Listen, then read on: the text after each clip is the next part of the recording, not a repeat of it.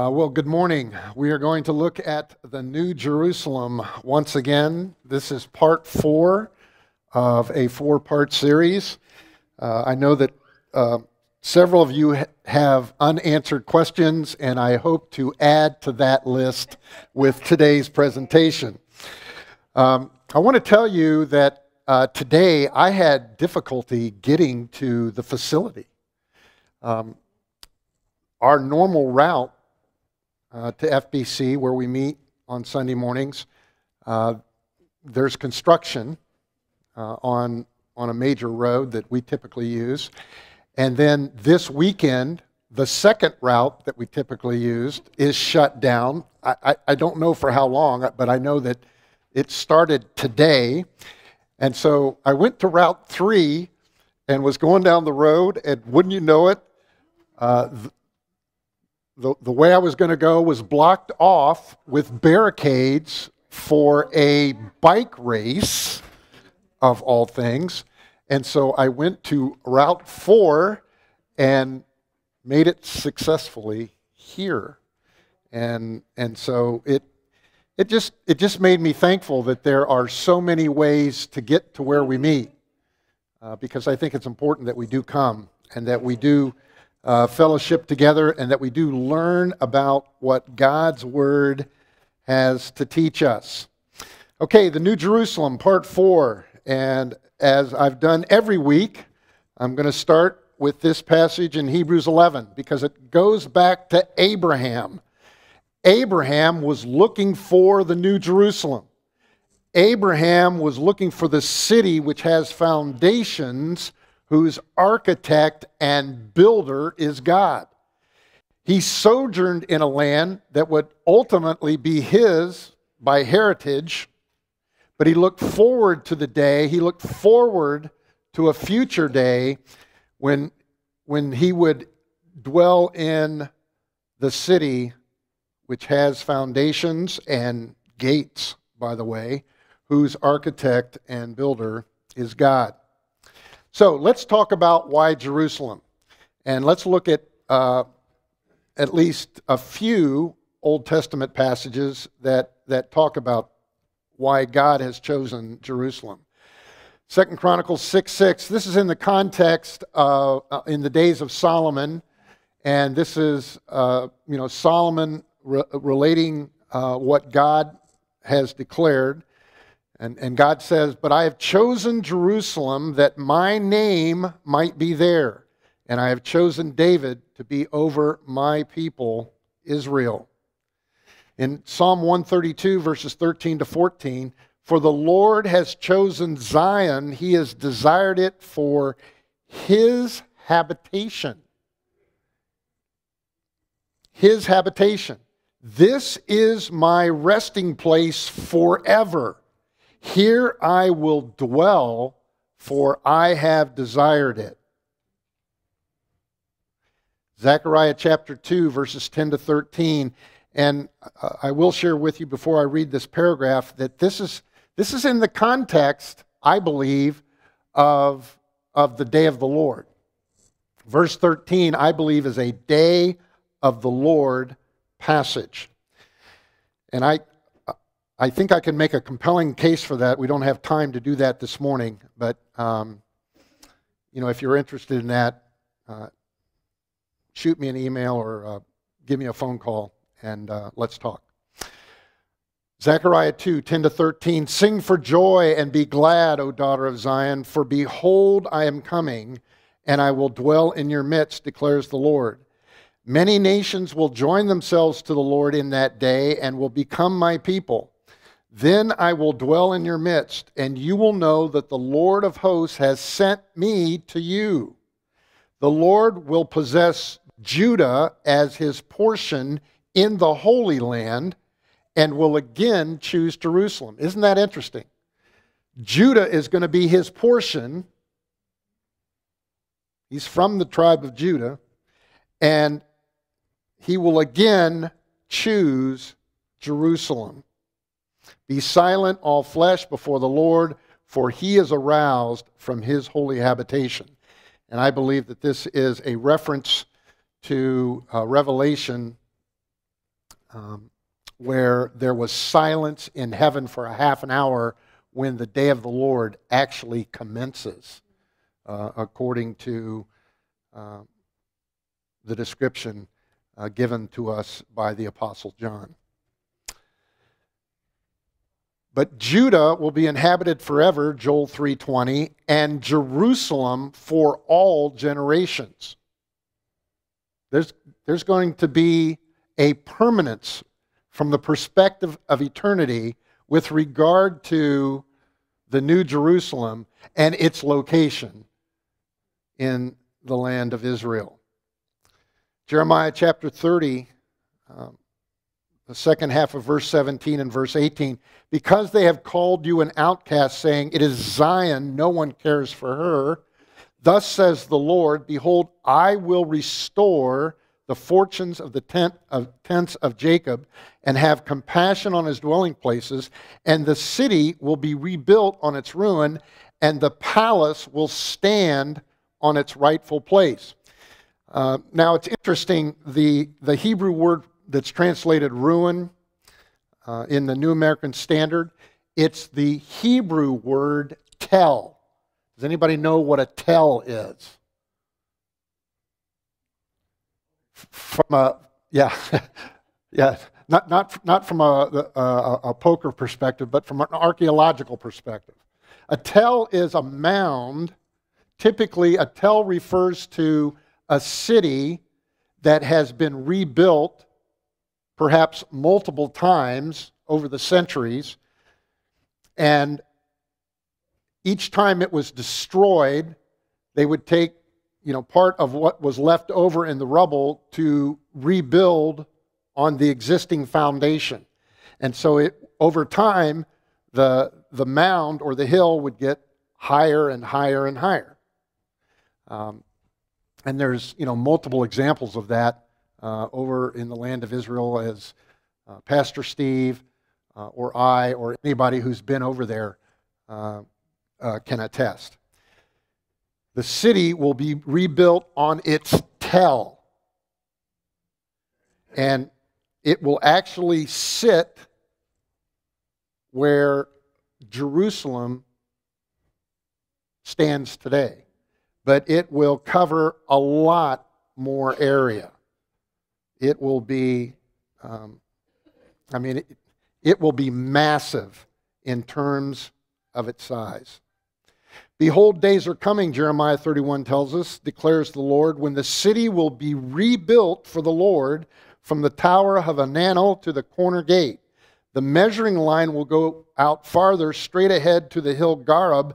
Then it will turn uh, to Goah.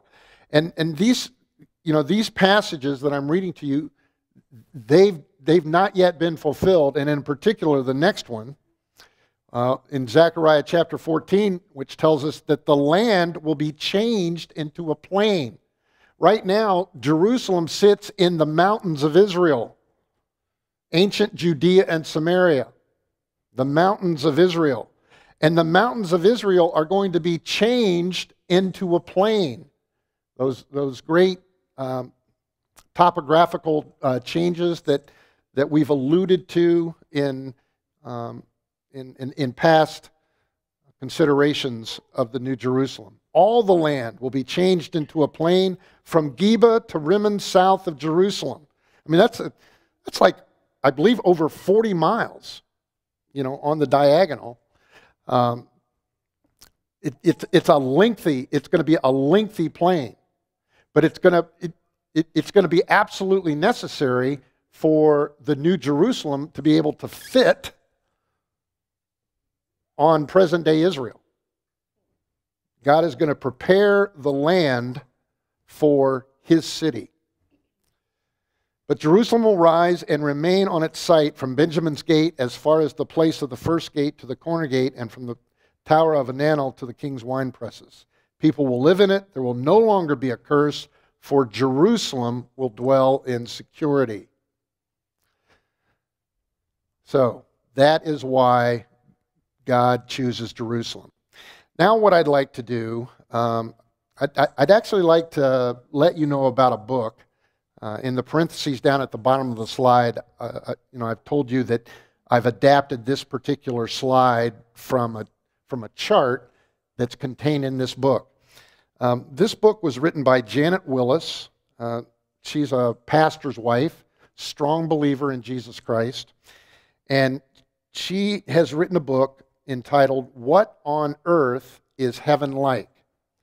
A look at God's city, New Jerusalem.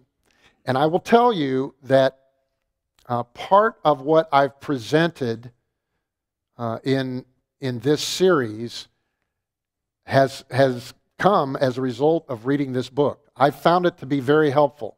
Now, as always, when recommending a book, I'm not saying it's inerrant, I'm not saying it's infallible. There may be some things in here I disagree with, but it is definitely worth the read, especially if you're interested in the subject and the topic of the New Jerusalem, because the Bible has a lot to say, both in the Old Testament and the New Testament, uh, about this reality. I thought it might be helpful to read a short portion from the introduction to give you a sense of why she wrote the book. I found it absolutely captivating. I went online and, and read a little bit about her testimony, and immediately I ordered the book because of, of what had transpired in her life. This is from the introduction. This book was born out of adversity. Allow me to briefly share. In 1994, over 20 years ago, my oldest three children were married, but my life was full. I had the joy and privilege of homeschooling our youngest six. So that tells you that she and her husband at that point had six children, or nine children. Three married, and six were living at home. In November of that year, 1994, my husband and I were in an accident that took the lives of those six, ages 13 down to six weeks old. The gas tank ruptured and exploded into our van. In the midst of shock and trauma, God kept me sane. At the accident scene, my husband helped me focus on what was true. God has prepared us for this. Scott called out to me. And as strange as it may sound, I knew he was right. For 20 years prior to that day, I had the privilege to learn many truths from the Bible. I knew God was all powerful. For those who love him, there is no such thing as an accident. I also knew that God was good. He loved me and he loved my children, yes, even that very day. I understood that when they went to heaven, they were going to enjoy everything I could ever want for them. They were going to be happy, they were going to be safe, and they were going to be good forever. In the aftermath, as the quiet days, weeks, and years wore on, I had all kinds of time to read and study my Bible like never before. Prior to our accident, I already had a long view of life, but now things about heaven jumped off the page. I discovered God had revealed so much more about heaven than I ever realized. I kept detailed notes of what I was learning, but new questions arose, particularly questions about the New Jerusalem. If believers who die go to Jerusalem above, where will they live when the Lord returns to this earth? Curiosity slowly gave way to a passion for truth. It was a treasure hunt. Eventually, the results of this quest were unexpected. And she goes on to talk about three assumptions that, that she had made about the New Jerusalem, which she discovered in her studies did not line up with what the Word of God teaches. High view of Scripture. She had a strong, abiding faith in Jesus Christ. And the Word of God, as she interacted with it, gave her fresh insight into where those six children were and what they were experiencing. I began this study with a focus on what my children might be experiencing. Adversity was the initial motivator, but gently and wisely, God changed my focus. As I learned more about what eternity is really going to be like, I gained a greater understanding of God's own goodness. And let me uh, read for you uh, what's written in a, in a memorial to the six. This is in memory of the B team Ben, Joe, Sam, Hank, Elizabeth, and Pete. And then there's six silhouettes there holding hands. And then it says, the last got to be first. I love that. So, what on earth is heaven like? A look at God's city, New Jerusalem, by Janet Willis. And here's some um, similarities. And, and, and we've, looked, we've looked at this information, most of it, uh, in, in one form or another, and I've just combined it all on one slide uh, just by way of review. From Ezekiel's point of view and John's point of view, the city has a square base on elevated land. It has 12 gates. There are three gates on each side, and each gate is named for one of the 12 tribes of Israel. This city has no temple in it. We saw that from uh, the book of Ezekiel and also the book of Revelation. The land, what's uh, known as, um, as the allotment, the land on which the city rests and on which the temple outside the, the city is built, the land is um, referred to as uh, uh, Kodesh, Kodesh. It's referred to as holy, holy, uh, which, is a, which is a Hebrew uh, idiom. You know, when you repeat Hebrew words, uh, it's for emphasis. And most often that would be uh, translated, that land is most holy. John describes the New Jerusalem as being holy. It will be the capital of the world, and the Lord will be there forever and ever. When this kingdom is established, Daniel tells us in Daniel chapter 7 that it is a kingdom that will have no end. It will be an everlasting kingdom. And I know we sometimes speak about the millennial kingdom uh, as though it has a specific beginning and a specific end. And we, we need to be careful with our terminology. When Jesus, is, when Jesus establishes his kingdom, that kingdom will have no end. Now, there are certain things that will happen during the thousand years that are described in the Old Testament. There are, there are certain uh, things that will happen to, to Satan during that thousand years. Satan will be released at the end of the thousand years and will re- lead a rebellion. And that rebellion will be summarily uh, snuffed out by fire from heaven as they, they go to the broad plain. This is really interesting. I, you, know, you know how you read passages and sometimes things click for the very first time? I'm, I'm reading Revelation 21 this morning. It's early. It's like I don't know, 5:30, quarter six. I'm reading Revelation 21, and I read the passage where you know Satan you know brings um, you know the forces that he has marshaled, uh, including Gog and Magog, and and they surround. They they come to the broad plain. Speaks of the broad plain, right? The broad plain's already in existence, and and they uh, surround the camp and the beloved city. And so that language, I mean, it just, it, it, it just reminded me uh, uh, uh, of this, you know, transition uh, that, that I have personally made about the timing of when the New Jerusalem uh, comes down.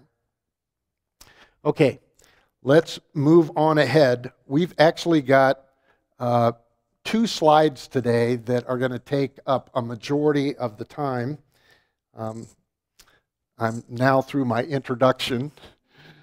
And, and so, uh, what I want to do is I, I want to demonstrate how Isaiah chapter 54 uses remarkably similar, similar terminology to um, you know, Revelation 21 and 22. Uh, and in one case, uh, there's a connection made uh, between Isaiah 54 and Revelation 16.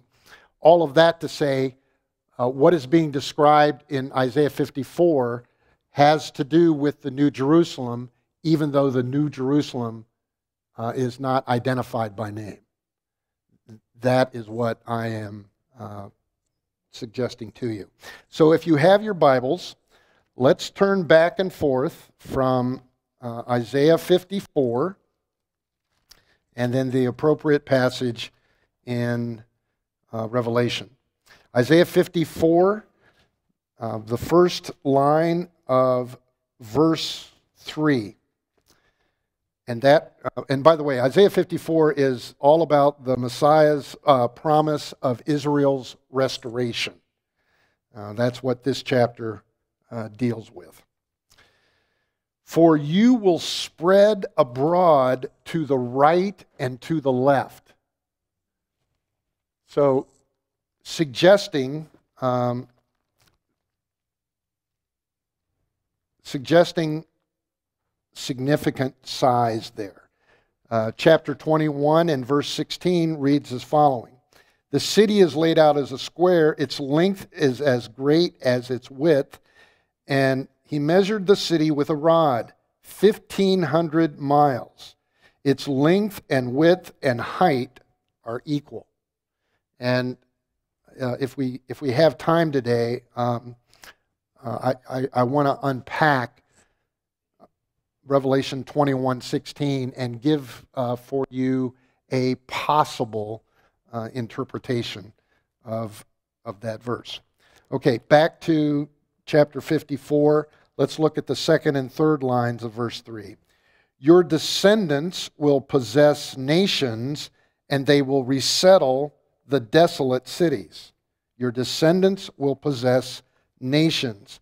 Look at chapter 22, the last line of verse 3 and the last line of verse 5.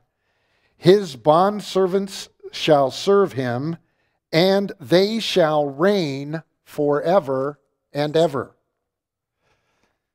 Okay, back to chapter 54. Look at the first two lines of verse 10. For the mountains may be removed and the hills may shake, but my loving kindness will not be removed from you.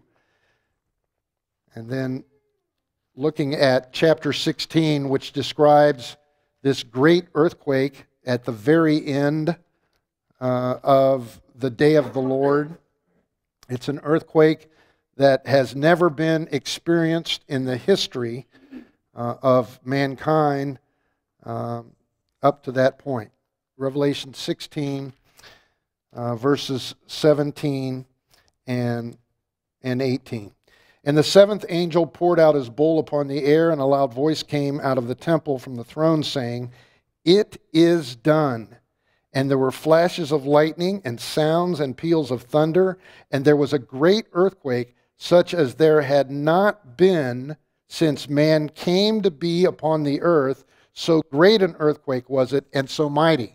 So this is even greater than the other earthquakes that are described in the book of Revelation. I mean, this one, this one apparently is the one that causes all of those topographical uh, changes that we read about uh, in, in both the Old and New Testaments. Okay, verses 11 and 12 of chapter 54 of Isaiah. O afflicted one, storm tossed and not comforted, behold, I will set your stones in antimony, and your foundations I will lay in sapphires. Moreover, I will make your battlements of rubies and your gates of crystals, of crystal, and your entire wall of precious stones. That sound familiar? Sounds to me like Revelation uh, 21 and uh, verses. Um,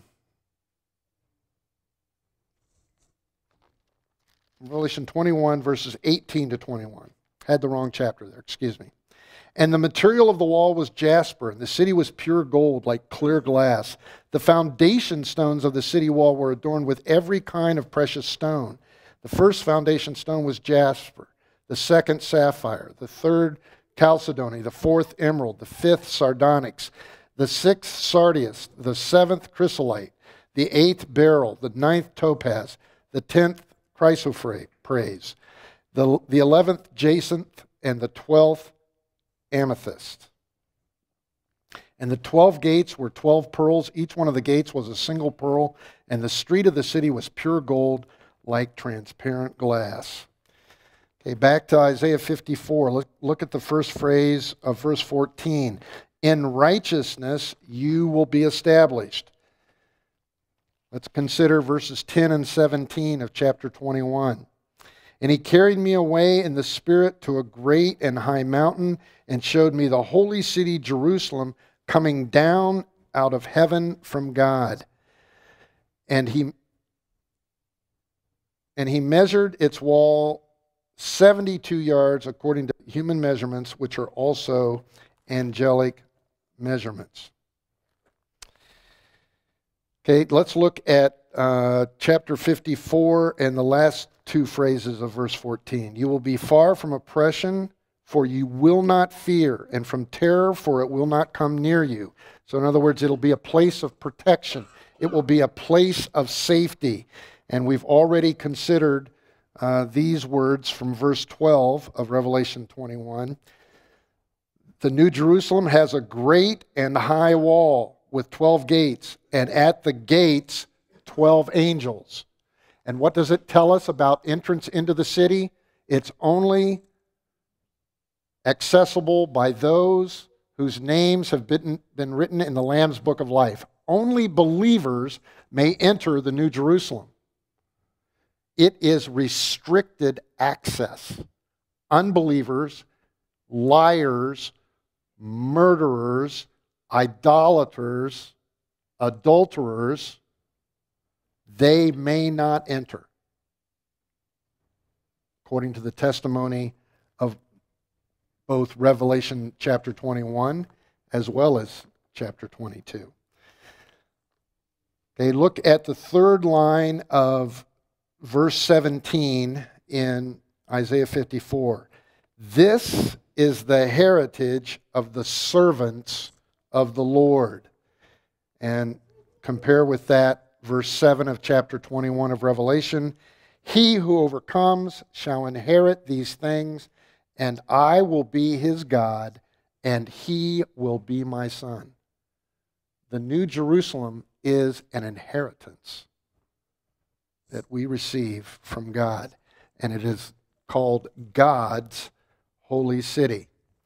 All right. Let's look at Revelation 16, verses 17 to 18. Again, this is the um, uh, passage which um, I believe and understand that great uh, topographical changes uh, will take place as a result. Then the seventh angel poured out his bowl upon the air, and a loud voice came out of the temple from the throne, saying, It is done. There were flashes of lightning, sounds and peals of thunder. There was a great earthquake such as there had not been since man came to be upon the earth. So great an earthquake was it, and so mighty. So let's turn to uh, these three Old Testament references first uh, Jeremiah chapter 4. And I'll be reading uh, verses 24 through 26. I looked on the mountains, and behold, they were quaking, and all the hills moved to and fro. And I looked, and behold, there was no man, and all the birds of the heaven heavens had fled. And I looked, and behold, the fruitful land was a wilderness. All its cities were pulled down before the Lord, before his fierce anger. Now, what does that line, last line, suggest to you in terms of its language? What period of time are we talking about? The day of the Lord, the day of his wrath, the day of his fierce anger. And that's, you know, that's the, the setting, that's the time frame of Revelation 16, verses 17 and 18. Uh, flip over to uh, Nahum, book of Nahum. Nahum chapter 1, verses 5 and 6. Mountains quake because of him, and the hills dissolve. Indeed, the earth is upheaved by his presence, the world and all the inhabitants in it. Who can stand before his indignation? Who can endure the burning of his anger? His wrath is poured out like fire, and the rocks are broken up by him. Again, day of the Lord language. Who can stand before his indignation? That's a word that's commonly used in Old Testament passages when speaking about this coming day of the Lord.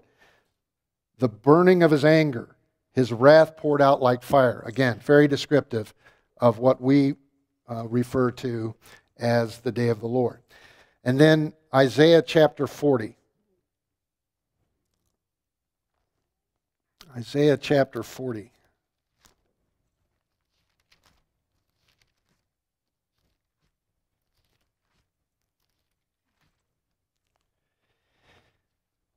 And I'll be reading verses 4, 5, and 9. 4, 5, and 9. Let every valley be lifted up and every mountain and hill be made low. This is in the context, this is talking about uh, the comfort that comes from the uh, future deliverance of Israel and, the, and the, the deliverance of God's people. And let the rough ground become a plain, and the rugged terrain a broad valley then the glory of the Lord will be revealed. All flesh will see it together, for the mouth of the Lord has spoken. And then verse 9 Get yourself up on a high mountain, O Zion, bearer of good news. Lift up your voice mightily, O Jerusalem, bearer of good news. Lift it up, do not fear. Say to the cities of Judah, Here is your God. Jesus Christ will be residing in the New Jerusalem.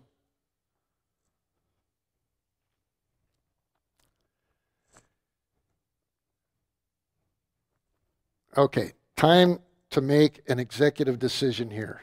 All right, let's turn to 2 Peter chapter 3. I, I will not I will not unpack the entire chapter, but I do want to point out a couple of highlights. And I think it's helpful to read the entire chapter in one sitting. It has to do with the last days. It has to do with certain things that are true in our day today. And there is uh,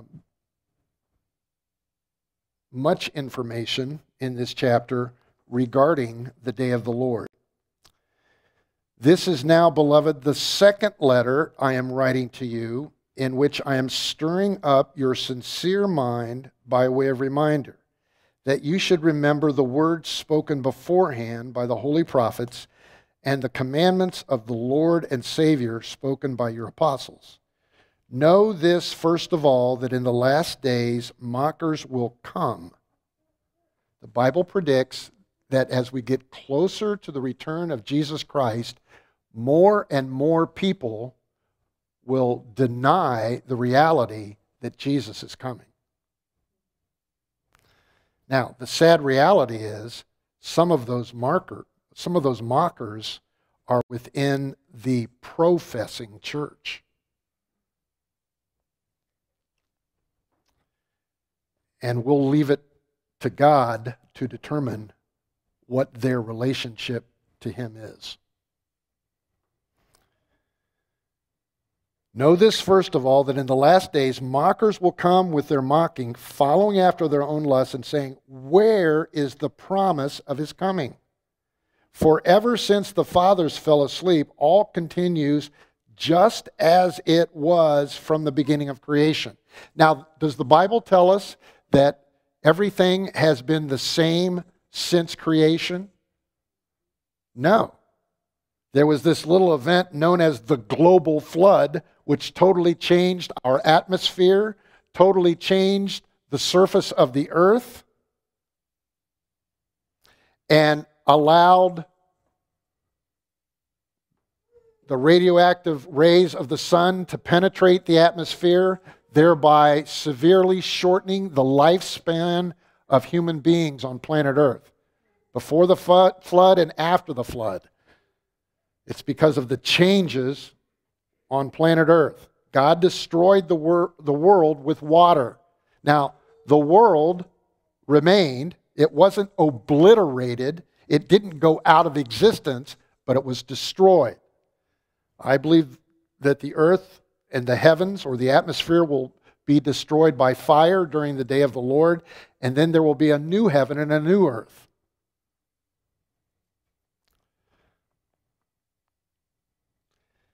This false belief, this false teaching, is actually on the level of a religion because this is one of the main tenets of the religion of evolution. Sometimes referred to, I believe, as uniformitarianism. And if I got that word wrong, check, check with Pastor Steve, and he, he might be able to, to give you um, some more clarity with regard to that. But, but evolution is based upon the premise that everything that we now see is the way everything has been. And the Bible declares otherwise. Now, look at what God says about people in the last days who hold that position. Look at what it says. For when they maintain this, that everything has been the same since the beginning of creation. When they maintain this, it escapes their notice that by the word of God the heavens existed long ago and the earth was formed out of water and by water, through which the world at that time was destroyed, being flooded by water. They deny the flood because they deny the Bible, because they deny the, the validity of God's word. And in a sense, they deny the trustworthiness of God Himself when they deny His word. But the present heavens and earth, by His word, are being reserved for fire, kept for the day of judgment and the destruction of godly men. But do not let this one fact escape your notice, beloved, that with the Lord one day is as a thousand years, and a thousand years is one day. The Lord is not slow about his promise, as some count slowness, but is patient toward you, not wishing for any to perish, but for all to come to repentance. Now, Pastor Stephen, his message today, what a strong presentation of the gospel and the truth of the gospel. It's all about the gospel. And even in this passage regarding the day of the Lord, Peter lays out the gospel. God wants people to be saved. He has made provision through his Son, Jesus Christ, who is God in human flesh. But the day of the Lord will come like a thief, in which the heavens will pass away with a roar, and the elements will be destroyed with intense heat, and the earth and its works will be burned up. It's during the day of the Lord that the earth will be destroyed by fire. Since all these things are to be destroyed in this way, what sort of people ought you to be in holy conduct and godliness? In light of the coming day of the Lord, how should we live? looking for and hastening the coming of the day of God, on account of which the heavens will be destroyed by burning and the elements will melt with intense heat. Now look at the next phrase. But according to his promise, we are looking for new heavens and a new earth in which righteousness dwells. And the new heaven and the new earth will be when the new Jerusalem comes down out of heaven, the city of God, the holy mountain of God. Therefore, beloved, since you look for these things, be diligent to be found by him in peace, spotless and blameless, and regard the patience of our Lord to be salvation. Now, we're going back, I don't know how long. Has it been a couple of years that we've had power to stand? Just about, just about two years. And the reason, the reason that we started this class in the very beginning was to teach people who come to FBC how to live for Christ until Christ comes. And that's what this passage is about. It's a prophetic passage. And what's the emphasis as far as Christians is concerned? To live for Jesus Christ until he comes. What's the emphasis for unbelievers? Get right with God, repent of your sins, believe in the gospel.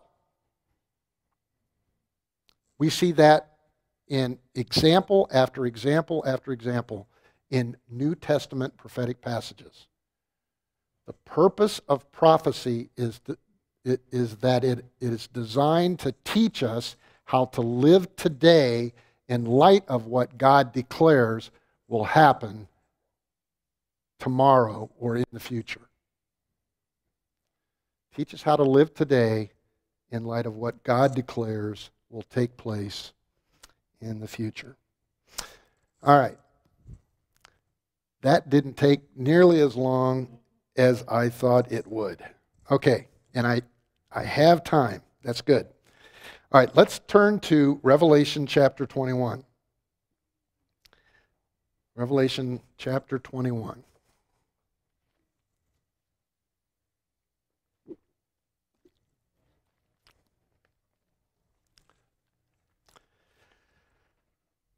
All right. This reads He carried me away in the Spirit to a great and high mountain and showed me the holy city, Jerusalem, coming down out of heaven from God. So this is, this is the city that God has built. I believe this is the city that Jesus alluded to in John chapter 14. You remember that passage? This is the night before Jesus Christ was crucified. And he gave an incredible amount of teaching, as recorded by the Gospel of John, to his disciples on that night. Listen to how chapter 14 of John's Gospel begins. Let not your heart be troubled. Believe in God, believe also in me. That's a claim to deity. Jesus is declaring himself to be God. You believe in God, you believe also in me. In my Father's house are many dwelling places. If it were not so, I would have told you, for I go to prepare a place for you. And if I go and prepare a place for you, I will come again. The promise of the second coming is based upon the fact that he's working on the new Jerusalem right now. And receive you to myself, that where I am, there you may be also. Again, this is yet another reason why I believe the scriptures teach that the New Jerusalem comes down at the beginning of the thousand years rather than at the end. I know there are people that disagree with that, and that's okay. It's not a, you know, it's not a matter of, of, of faith in the sense of orthodoxy and the gospel. Believers disagree on the timing of these things. But it does make sense if you understand it at the beginning when you consider this description by Jesus Christ that where we will be dwelling forever, it's being it, it, it's going to be be prepared by the Father and the Son until Jesus returns, right? That we may be with him forever. I mean, it's, it's pretty straightforward. You know, when, when you begin to link all these things together, um, I, I, I think a credible case can be made. Okay, so um, that where I am, there you may be also, and you know the way where I am going. All right, so let's go back to Revelation uh, 21. And, you know, this is, um, if you get this book and if you read it, um, Janet's insight into verse 16, um, it, it, it's difficult to wrap the mind around it.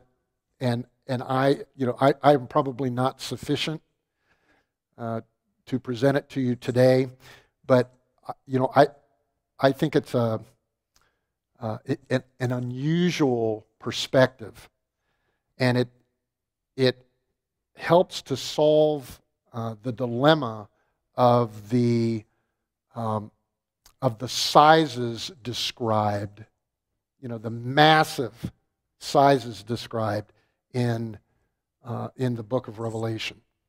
The city is laid out as a square, just as Ezekiel tells us, John tells us that, and its length is as great as its width. And he measured the city with a rod. So, in other words, the city at the bottom is square. That's what he's saying. At its base. Now, notice what John records when the city is measured. 1,500 miles. Uh, I, I, think some of your translations, uh, it might say stadia. Does it mention stadia? I don't know. Um, there's, you know, there's, uh, there's different, different opinions as to what that, that, you know, measurement actually, you know, represents. It, it might be closer to 1,300 miles and change um, from the calculation that have been made by some.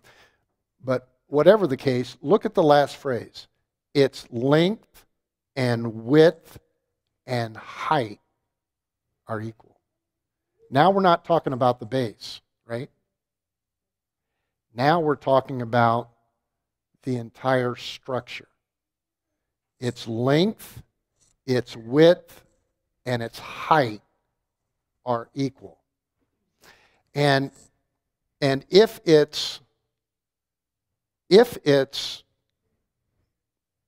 actually describing, you know, this 1,500 miles, if it's describing those three measurements rather than the two measurements, do you understand?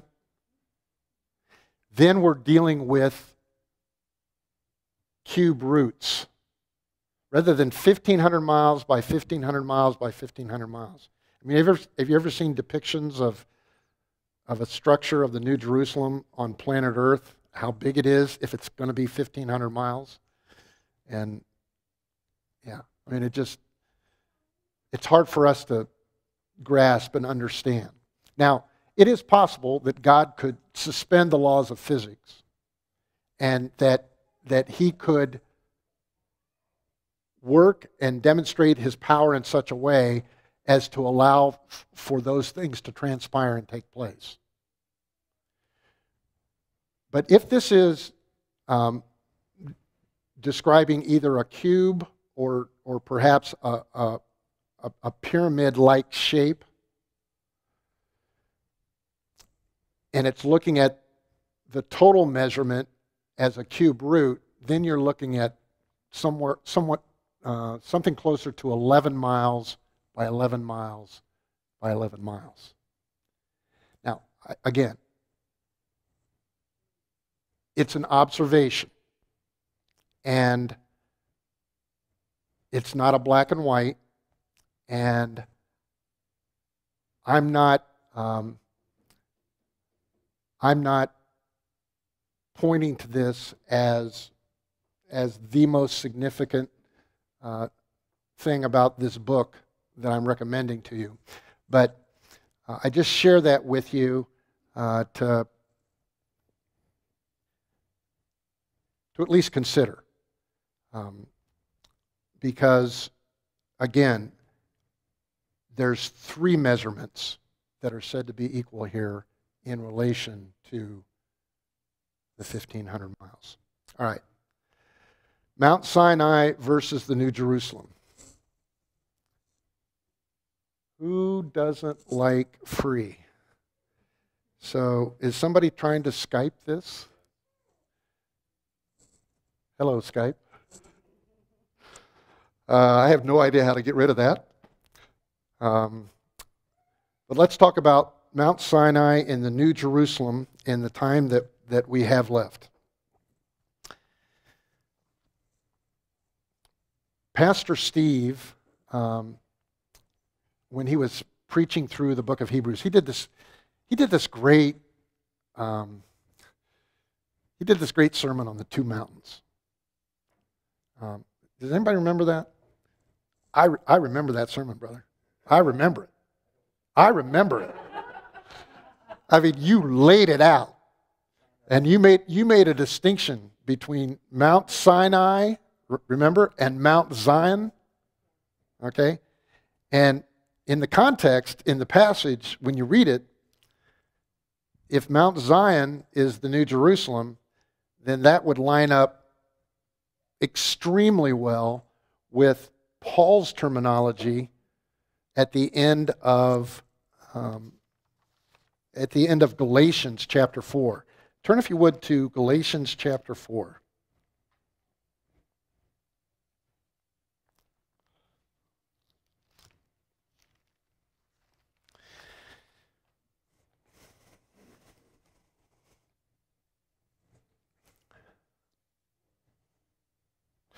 Now, we know that there are some people who approach the Bible who want to make the Bible totally allegorical. And, and, and we know the problems associated with that. Having made that observation, there is allegory in the Bible. But we need to be careful and cautious and allow the Bible to indicate when it's speaking in allegorical terms. Otherwise, we should interpret in a normal, common sense interpretation. Some people like to use the word literal. Um, and and, and with, with, you know, whatever terminology you use there, in, it, in its normal sense, should be the way uh, that, it's, that it's interpreted. And we shouldn't deviate from that unless there's something in the context that specifically instructs us to do so. Look at the uh, last couple of paragraphs of Galatians 4, verses 21 to 31. Tell me, you who want to be under law, do not listen do you not listen to the law? For it is written that Abraham had two sons, one by the bondwoman and one by the free woman. But the son by the bondwoman was born according to the flesh, and the son by the free woman through the promise. This is allegorically speaking, for these women are two covenants, one proceeding from Mount Sinai, bearing children who are to be slaves. She is Hagar. Now, this Hagar is Mount Sinai in Arabia and corresponds to the present Jerusalem, for she is in slavery with her children. But the Jerusalem above is free. She is our mother. For it is written, Rejoice, barren woman who does not bear. Break forth and shout, you who are not in labor. For more are the children of the desolate than, the one, than, than of the one who has a husband. And you, brethren, like Isaac, are children of promise. But as at that time he who was born according to the flesh persecuted him who was born according to the Spirit, so it is now also. But what does the Scripture say? Cast out the bondwoman and her son, for the son of the bondwoman shall not be an heir with the son of the free woman. So then, brethren, we are not children of a bondwoman, but of a free woman. A distinction made between Mount Sinai and Jerusalem or Mount Zion. And, and it's, it's, it's Mount Zion, which is above, it's Jerusalem, which is in heaven, which will descend from heaven to the earth after the return of Jesus Christ. Okay, flip over now to Hebrews chapter 12. And uh, let's look at the last two paragraphs of that chapter, including the fifth and final warning passage in the book of Hebrews. So it's going to talk about the New Jerusalem, and then it's going to talk about the fifth warning passage. I, I, I find that fascinating. Verse 18 For you have not come to a mountain that may be touched, and to a blazing fire, and to darkness and gloom and whirlwind. Remember Mount Sinai when God gave the law? You know, they couldn't go on the mountain, they couldn't touch the mountain. Remember that? It was restrictive. What does it say about the New Jerusalem? Only believers may enter. Unbelievers can't go there. Right? There was, there was smoke, there was fire, there was a whirlwind, right? Well, the glory of the Lord is going to be at the top of the New Jerusalem. I mean, there's, there's going to be an encampment around the city there's going to be a temple outside the city, and there's going to be an encampment by tribes, just, just as the, there was an encampment at Mount Sinai, there will be an arrangement of tribes around the New Jerusalem. You know, with those, you know, with those Jews who, who enter who, who enter the Messianic kingdom in, in order to help repopulate it, along with Gentiles who, who enter with the capacity to, uh, to procreate. All right.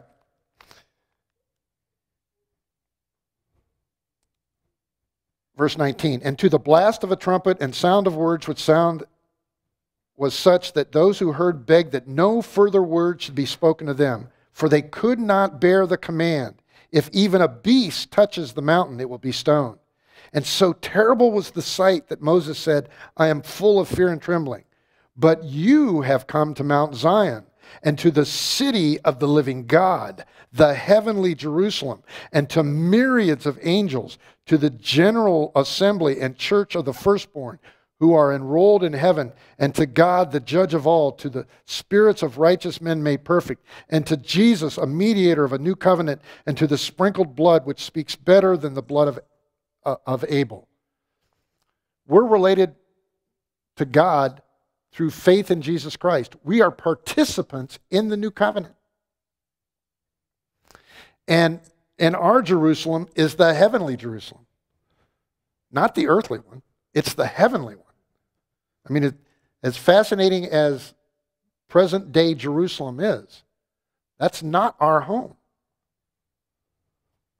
It will be the location of our home someday. But that Jerusalem is not our home, it's the Jerusalem that's in heaven. See to it that you do not refuse him who is speaking, for if those did not escape when they refused him who warned them on earth, much less shall we escape who turn away from him who warns from heaven. His voice shook the earth then, but now he has promised, saying, Yet once more I will shake not only the earth, but also the heaven.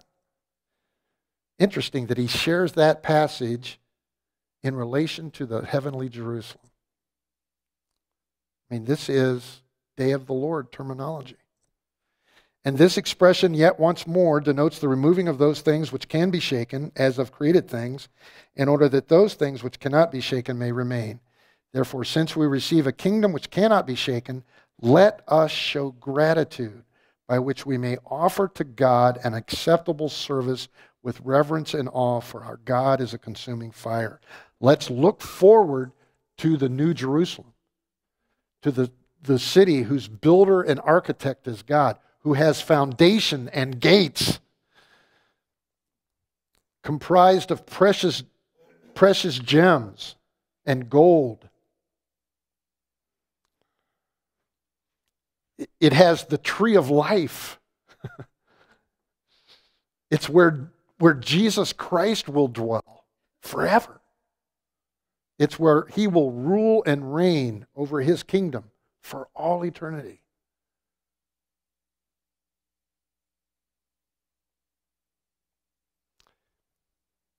And let's be reminded once again that until he comes, we should be sharing this truth with those who do not yet believe in the gospel of Jesus Christ. Okay, let's pray, and then I will collapse. Thank you. Father, uh, we want to thank you for this time that we've had in your word. And we ask, Father, that you will help us to continue our study and consideration of the New Jerusalem, of our future home. Father, we've just barely scratched the surface. And I personally look forward in this coming year to study in more depth those passages in the Old and New Testaments which speak of our future home. Father, we once again want to thank you and praise you that heaven is our home because of your Son, Jesus Christ, and the price that he paid on our behalf, taking upon himself the sins of the world that they might be judged on the cross and that we might be forgiven. Father, we say thank you and we praise you in Jesus' name. Amen.